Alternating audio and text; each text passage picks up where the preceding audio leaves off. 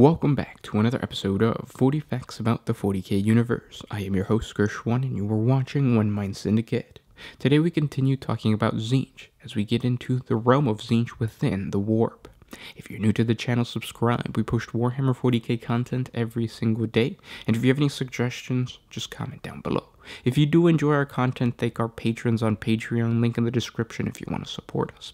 But with that said, let's get into 40 facts on the realm of Tzeentch. Created from the raw energy of the warp, Tzeentch's realm is one of constant flux and shifting structures, created spontaneously from every material imaginable. Known as the Crystal Labyrinth, no mortal and few demons can visit the realm of the Raven God and survive with their sanity intact. Just as Tzeentch manifests and appears in many different guises, many of them fluid and shifting, so too the domain of the Changer of Ways within the realm of chaos constantly adapts to its master's whims desires, moods, and of course the demands of his thousand and one plots. Humans, Xenos, and demons perceive and interpret this territory in a wide variety of ways. In fact, some scholars, and a few of the more coherent first-hand witnesses who have survived contact with Tzeentch's realm, have suggested that neither mortal nor demon, except perhaps the more powerful Lords of Change, can grasp the true nature of Tzeentch's shifting realm. Most who visit the domain of the Great Mutator quickly go mad. Those of exceptionally strong mind and strong will can perhaps interpret but one facade of the often crystalline landscape that, like Tzeentch himself, has an infinite number of faces. Many commentators suggest that the mind can only perceive this world of warp energy, created into something resembling solid form, through symbols or metaphors, images created by the mind of the iron-willed in an attempt to make sense of pure chaos and constant change. In fact, many witnesses rely on paradoxical metaphors even to describe the process of perceiving Tzeentch's realm itself, sculpting with fog, describing a dream as it occurs, singing silently, painting with mist and the like. The great ocean of the warp is a sea of madness and insanity, and Tzeentch's realm is the concentrated essence of such things given form. In spite of the constantly changing nature of the domain of the architect of fate, and the limited capacity of mortals' minds to perceive and comprehend it, certain common views have emerged from the extant descriptions of Tzeentch's realm. Some observers claim that the enormous crystalline labyrinth dominates the landscape, a luminescent plane shimmering like a polished, molten opal. Passages in the maze appear, dissolve, merge, split, and change direction, seemingly at random. Those who gaze into the crystalline substances that compose this maze may see more than light reflected and refracted in the fluctuating facets of the shining surfaces. They may catch glimpses of fear, miseries, and hopes made visually manifest, dreams and nightmares, histories real and imagined, potential futures, images of torment, ecstasy, and despair, and through it all, an abstract thought made momentarily concrete as pictures in a crystal. One visionary reported seeing various images of his children at different points in their lives, all of them moments of despair, sorrow, and desperation. Another recounted her experience in Tzeentch's realm as one of ecstasy, as she witnessed reflected representations of what she took as her possible futures, each more joyful and successful than the last. Yet another claimed to observe nightmare imagery in the mirrored surface of the labyrinth, demons rending flesh from friends and loved ones, the destruction of his home by dark sorcerers wielding warp fire, and worst of all, the transformation of his own body into a tentacled, withering mass. When this last traveler was finally able to tear his gaze away from the hellish visions, he discovered that days had passed, and that his body had indeed changed into the hideous chaos spawn he had seen in his visions. Imperial records show that all three of these individuals met their tragic end suicide, insanity, and execution at the hands of the Inquisition, respectively. In one sense, these survivors of Tzeentch's realm were fortunate.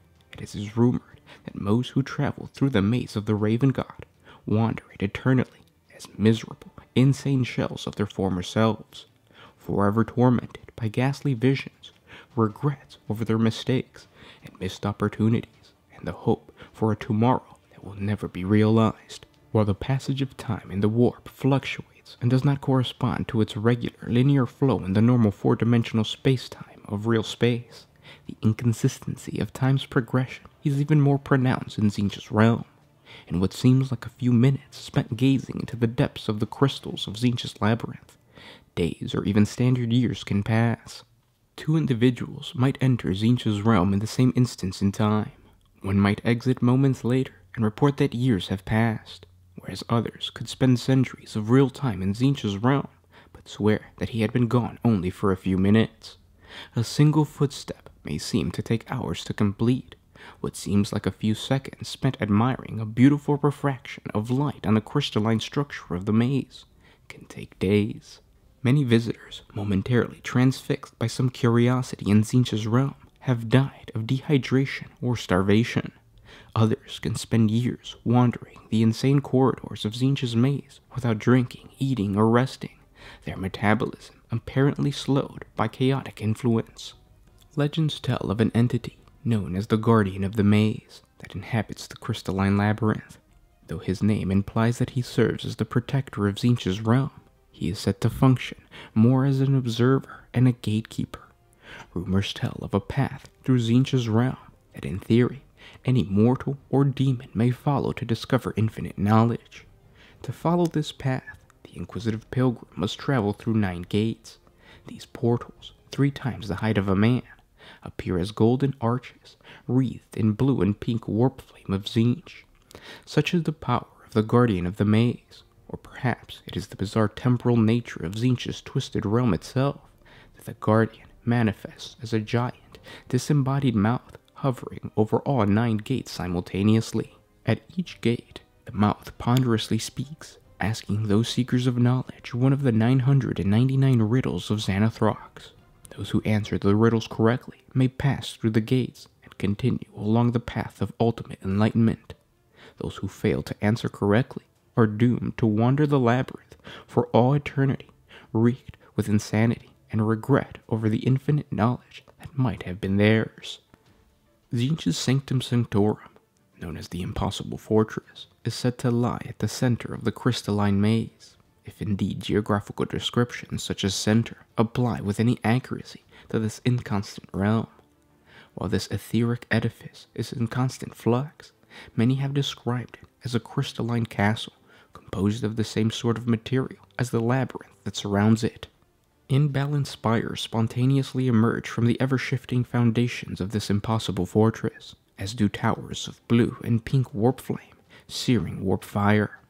Gates, doors, and portals slowly open as if yawning, only to slam shut like mouths of terrible beasts and then disappear. Mortals shackled by psychological manacles, forged by a lifetime of habit in the material realm, cannot fathom the perverse design of Tzeentch's home. As the name of this fastness implies, even the most visionary and heretical designers of the material realm cannot draft plans for this maddening architecture the impossible fortress. Deep inside Tzeentch's home, according to some profane accounts, lies Tzeentch's fabled hidden library. This infinite collection of tomes, scrolls, and parchments of every kind contains every scrap of knowledge and thought ever recorded in creation stories written and unwritten, histories true and alternate, and accounts of future potentials, actual and imagined. Many of the volumes are so weighty with knowledge that they gain a sentience of a kind and spend centuries chattering to passerbys, arguing with one another, rewriting themselves, and then reorganizing their placements accordingly. Magical chains of warp fire help to protect the books and bind them in place. Horrors serve as grotesque librarians and work tirelessly to reshelve the works, catalog the collections, and maintain what passes for order in the impossible fortress. As with so many things associated with a changer of ways, few things are always as they seem. Although the crystal maze, the impossible fortress, and the hidden library often appear as described, by no means are these descriptions consistent with every narrative provided by those unfortunate souls who have visited Tzeentch's domain. One of these unfortunate souls is Boc Zamael, dubbed the lunatic scrivener of Havelock Prime by the Hive City's prince, who acts as his patron, claims to have traveled and returned from Tzeentch's realm in the early 41st millennium. Zamael attests that he saw nothing but a bleak hill on which a single leafless tree stood. Another unfortunate soul Dayless Dial, the heretic illuminator of Valentin, who was later executed for heresy, describes Tzeentch's realm as a barren desert landscape populated by deformed, headless humanoids that continuously split and reform into new bodies. Other witnesses have described a realm of pulsating and constantly morphing protoplasm, towers of fungus and mold, continents of sentient vegetation, and vines without finite length, and vast landscapes of nothing but barren stone and ash. It is likely that Tzeentch's realm is all of these things and more. Others have suggested that observers interpret Tzeentch's realm subjectively, filtering their perception of structured warp energy through their own expectations and experiences. It may be most probable that Tzeentch himself determines how each mortal or demonic individual perceives his realm to suit the needs, whims, and conspiracies of the Master of Lies. And those were 40 facts on the realm of Tzeentch. I hope you guys enjoyed this video. If you did, thank our patrons on Patreon. It's because of them that we can continue to post videos. If you guys want to support us, link in the description. It's a dollar a month, uh, and that one dollar a month goes a long way. So thank you guys ahead of time if you support. Tzeentch and the lore of the realm of Tzeentch is probably one of my favorites because it just the descriptions of, of what reality or how uh, reality can be uh, twisted and, and, and changed uh, is just a lot of fun to, to, to think about. Uh, almost like Cthulhu in nature or ethereal in nature. Uh, it's it's really inspirational for just a variety of things, from terrain building to D and D campaign sessions. Uh, it's just a really fun a set of lore. Uh, if you guys have any other suggestions for other topics of Warhammer 40k, any other Chaos realms that you guys would like us to talk about, please comment down below. We're going to get to everything at some point, um, but if you have a specific um, location that you guys want us to talk about within the realm, comment down below. Uh, thanks for everything, guys. The uh, 150,000 uh, subscriber giveaway coming very, very soon, uh, so stay tuned for that. But with that said, this was Gershwan with One Mind Syndicate signing out.